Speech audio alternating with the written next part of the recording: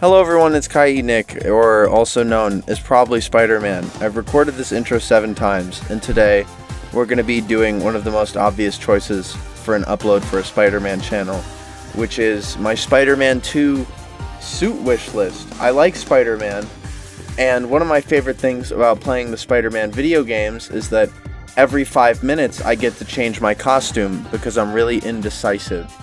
Uh, I might do more videos on the PS4 game in the future.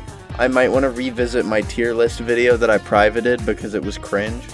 And yeah, I might do more videos in the future on the PS4 game.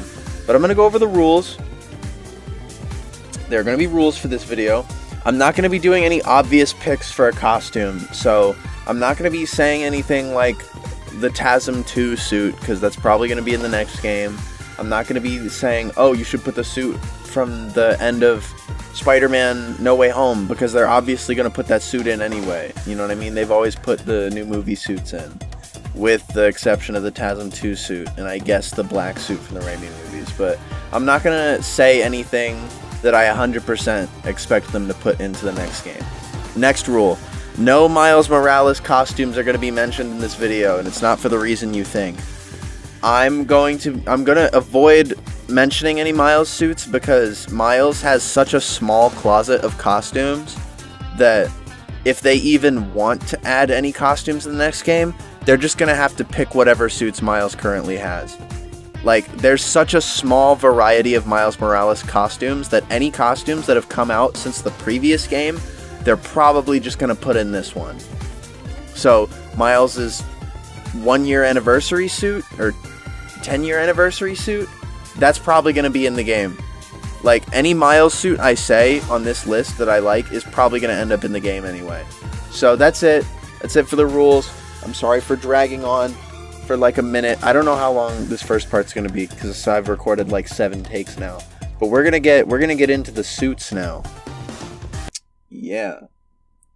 Hello, we're back to the non-scripted section of this video. Okay. So, um yeah, I'm I like it's been an hour since I was working on this video. I got distracted. I had like two hot dogs. I took a bunch of pictures of my costumes in like a suitcase because I thought it looked cool. And then I exposed a uh, fan on Twitter for being horny. And uh, I need to like get my ADHD in check because I'm like all over the place right now. So let's talk about the Ditko suit. That's coming up first. And I know I know there was like sort of a classic Ditko era suit in the game, but that's not really a classic suit as much as it is the normal classic Spider-Man suit with a comic book shader thrown over it. I want like a classic classic suit. Now don't get me wrong, the classic comic book shader suit was great, but if there was one thing I could change about it, I just wish it was a little more Ditko. So, ignore anything I just said about the comic shader suit. I want a, a Ditko costume. Like I want a classic, classic Spider-Man outfit, like the one that looks like the one he first appeared in. I want it red and black with a blue back emblem, smaller, squintier, rounded eyes, and a big, goofy front logo. And I want the underarm webbing. All right, Insomniac. I don't know what you were what you were doing when you took out the web cape and like you just remove all flowy elements from any of the Spider-Man outfits. I want I want underarm webbing. I'm tired of everybody removing underarm webbing from Spider Man. I want underarm webbing. It's such a cool little feature of the Spider Man suit that's always neglected. Like, in the Stark suit, in the MCU movies, oh, it's like a cool little gadget. No, I want that shit to be silly and pointless. Other than for flair. I love I love underarm webbing. It's so cool, bro. Shout out to all my underarm webbing homies. That shit is so awesome. I fucking love underarm webbing. And if we get this suit in the next game, it has to be underarm webbing or nothing. Underarm webbing or nothing. That's how much I love that shit. Anyway, next suit. Next suit in the video.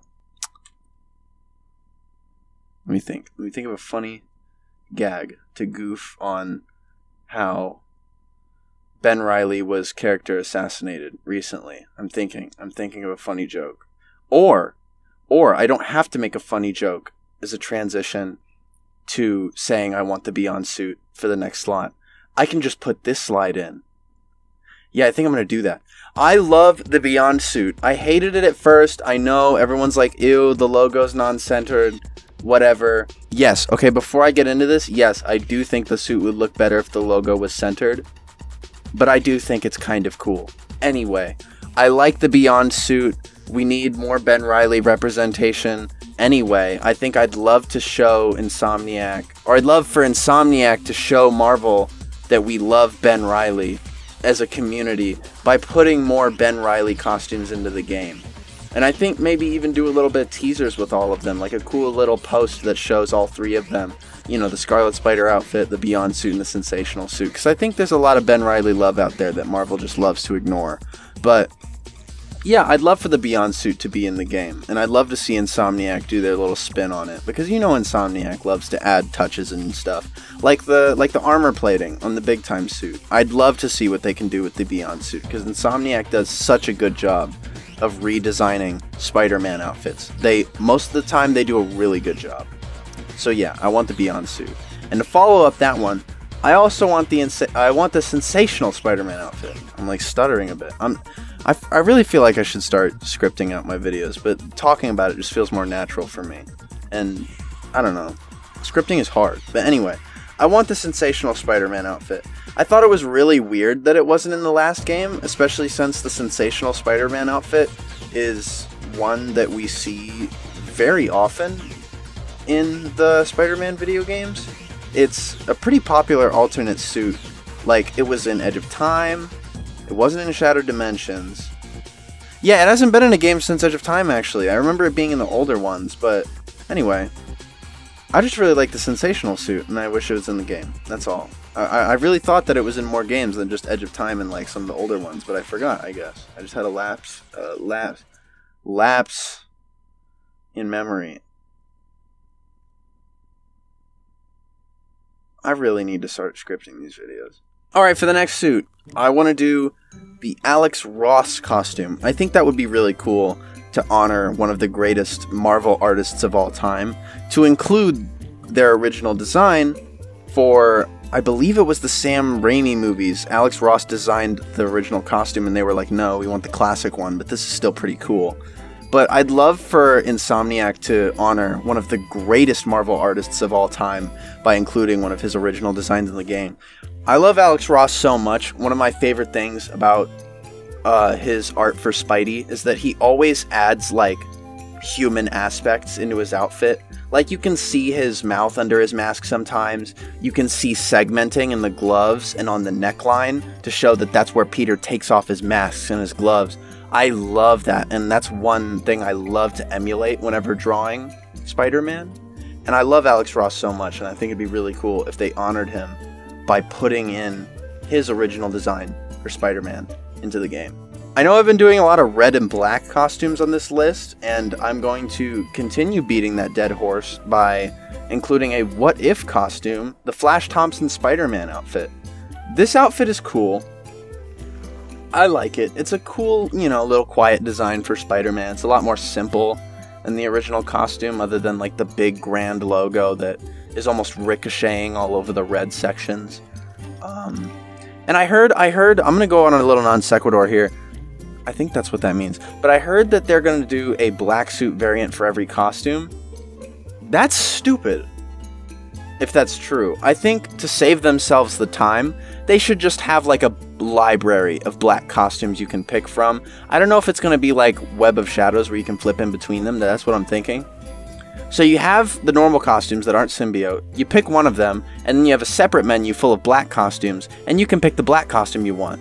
So whenever you want to turn into the symbiote Spider-Man, you can just wear the one that you have selected from your black suit menu. And if you want to go back to the classic costume, it'll go back to the regular non-symbiote costume you were already wearing. Does that make sense? Okay, that makes sense. Let's get back to Flash Thompson Spider-Man. I'm going to do a brief little synopsis. This is a what if story again, because this is not the first time they did this with Flash Thompson, but this is what if Flash Thompson became Spider Man. Essentially, it's a story handling how Flash Thompson, being a bully, carries on into him also being Spider Man.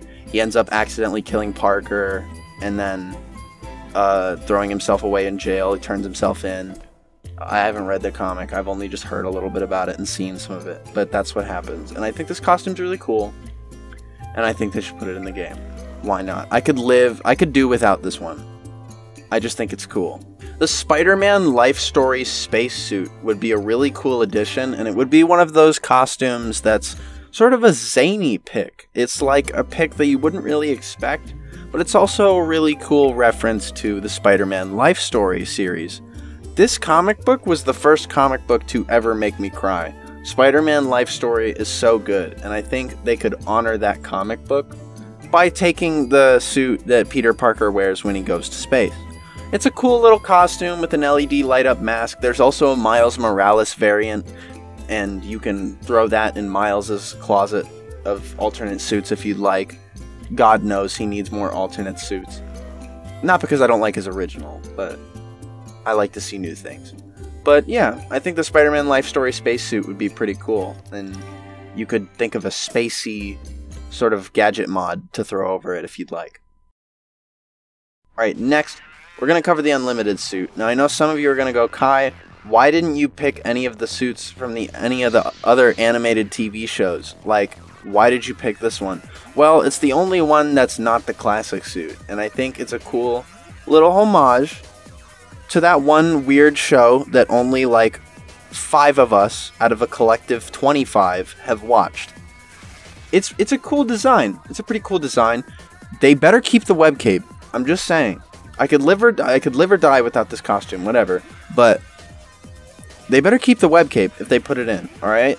I was I was upset when they took the the web cape off of 2099. I get it, physics. It's hard to program, but web capes are cool. All right. Web anything is cool. All right. Web pits, web capes, they're both awesome. And I, I I'm tired of this web erasure we got going on. So anyway, now we're going to talk about Bullet Point Spider-Man, that one time where Bruce Banner became Spider-Man, but without any of the powers that make him Bruce Banner. He's just Spider-Man. Uh, he's sort of got like a grayish purple costume. He's got like a he's got the Spider-Man utility belt on there with the big red glowing emblem, which I'm pretty sure is supposed to be the spider signal. I know they did this for the Ben Reilly costume, but they give him a utility belt with a big red button on the center, and I'm pretty sure that's supposed to be the spider signal, but people just think it's a big red button because the artist gets too lazy to draw the Spidey face on there.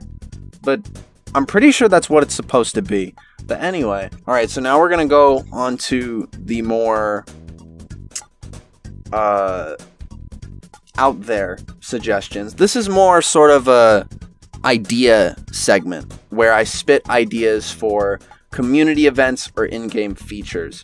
So, my first idea is Insomniac could hold a community contest where they could offer cash prizes and put some of the community's fan designs into the game. They could hold a contest, they could hold two separate contests, or three they could hold one contest for a Peter Parker outfit with a cash prize, a second play or a second contest for a Miles Morales fan designed concept with a cash prize, and then a third for a symbiote costume with a cash prize. I think it'd be cool to see the community reflected in a Spider Man game.